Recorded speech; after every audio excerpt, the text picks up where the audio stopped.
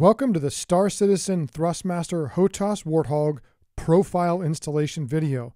To get started, download the profile from the link below.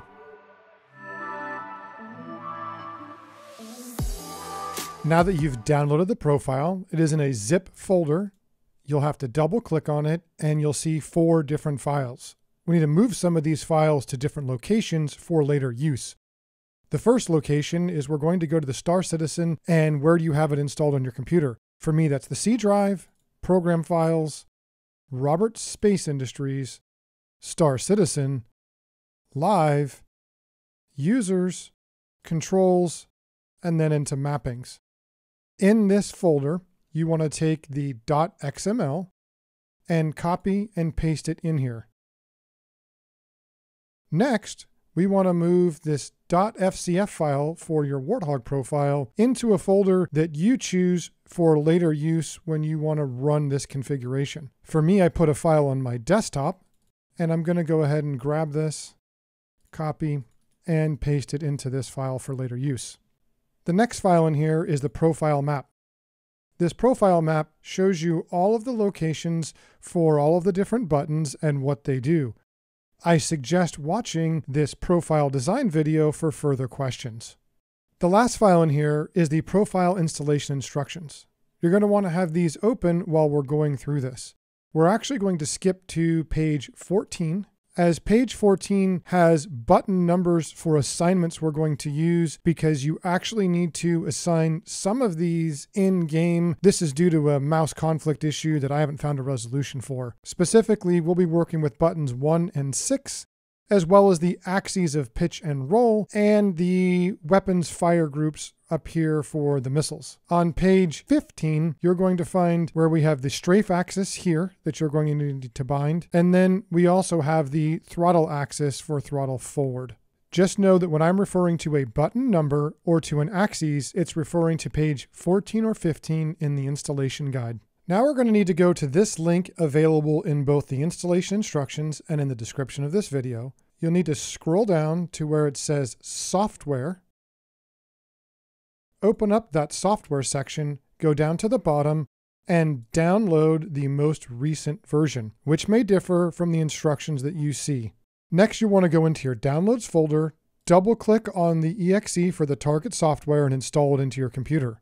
Once installed on your computer, you should see an icon that says Target GUI or GUI. Open up the Target GUI. Once open, click Run Configuration. You'll need to find the file that you stored the .fcf in, and you'll see the .fcf file there. Double click on it and the profile will run. It'll make some beeping noises as you've heard, and then also at the bottom, you should see where it says main returned zero.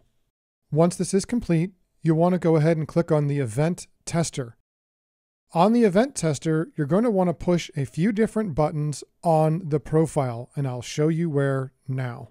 You're going to want to push some buttons on the TMS on the joystick, and then you'll also want to go ahead and push some of the buttons on the push to talk on the throttle. This is because the Thrustmaster software actually combines your individual joystick and throttle input into one combined joystick. Checking that you get results for both in the event tester will allow you to confirm that you are not facing a potential issue. If you do not see both the hat switches give you information and a bind and release in the event tester, then you need to go to the troubleshooting guide on page 10. There are several different things that can occur, including if you plug in another device, it can reassign your axes names and cause the profile not to work. The troubleshooting guide on page 10 has four different distinct sections that are going to help you with four different problems. Once you have tested that, you can close the event tester and we can launch Star Citizen. Once in Star Citizen, you'll need to open the command prompt by pressing the tilde key usually located above the tab key. Once the command prompt is open, you'll need to type in exactly as follows pp underscore rebind keys and then a space layout underscore and the name of the .xml that you downloaded for your version. The version number may be different than you see in this video.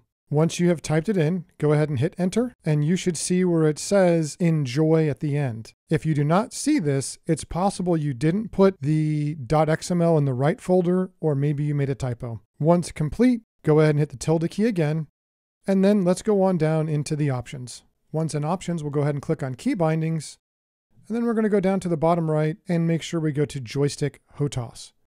Then on the left, we're going to click Advanced Customization Controls. Then we're going to go to Control Profiles and we're going to clear all device bindings. Now this is a little bit tricky in that we're only going to do this for the joystick. We do not want to touch the keyboard, mouse, or gamepad. So left click and then select joystick. For the second one, you're going to left click, slide down to joystick, and then scroll wheel down to where it says one. And then for the third one, scroll wheel down until it says two. Don't worry about it if you don't have this many or if you have extra. We just need something in the slot to clear out the profile. Once you've done that, click load. Next, we need to make sure that it did clear the bindings and we can go into flight movement and you'll see that nothing is bound. The first thing we're going to bind is in flight view and we're going to go down to dynamic zoom in and out relative. Double click this and then you're going to want to push the throttle friction slider on the throttle you see here. This should show up as slider 2. Next, we're going to go to flight mining, and we're going to bind the exact friction throttle to increase, decrease mining laser power. Now don't worry, this will only work when you're in mining laser mode. This will give you a warning that this is already bound to dynamic zoom in and out. This is okay, just click yes. Next, we're going to go to flight movement, and we're going to bind pitch. Pitch would be pushing forward on the joystick. This should show up as a y-axis, and again, just click yes. Next, we're going to bind yaw. Some people bind yaw to their pedals like I do because I do flight simulators for modern fighter jets. If you choose to put this on your stick as a left movement of the stick on the x-axis or right on the x-axis, that's a personal choice. For me, this shows up as a z-axis on input number three. You'll want to note what input number your pitch and roll go to because we're going to make some adjustments up in the controls tab later. So again, make sure you note if your Y or X axis has a input number next to it like you see here. Now we'll go ahead and bind roll and we'll click yes. Now we'll go to throttle forward and we will push the throttle forward to bind that as the Z axis. Next, we need to talk about strafe up and down and strafe left and right. If you have not modified your Thrustmaster Warthog with an analog upgrade for the slew, then do nothing. However, if you have upgraded your Thrustmaster with an analog upgrade, go ahead and click on strafe up and down and bind it to that axis. And then also bind strafe left and right. Next, you want to go to flight scanning. In flight scanning, you're going to bind buttons 1 and 6 as you see on the profile map. And now we will bind button 1 to activate scan. Next, we will bind scanning radar ping to button number 6. Now we're going to go to flight weapons and bind the same two buttons to fire groups 1 and 2. Fire group 1 will be button number 1 and fire group number 2 will be button number 6. Now expand flight missiles, and we're going to bind button number two to both missile lock and to fire a missile. Star Citizen's default axis settings are odd and sometimes counter to the direction you think they should go. For example, if you push forward on the throttle, it'll actually send you backwards. To fix this, we need to go into the Controls tab. Go down to the bottom right and make sure you're on Joystick HOTAS. Then we'll go back up to the top left and we're going to expand the inversion settings. We'll go into flight and then we'll go into flight movement. Under flight movement, you need to change yes on flight strafe up and down because it is also backwards. We'll need to also click yes on flight strafe forward as this is actually for your throttle.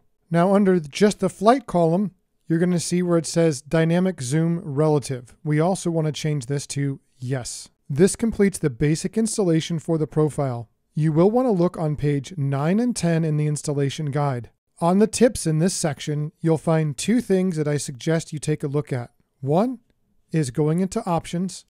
Under game settings, scroll down until you find proximity assist. I would turn this off. I will link a video here and then a description as to why.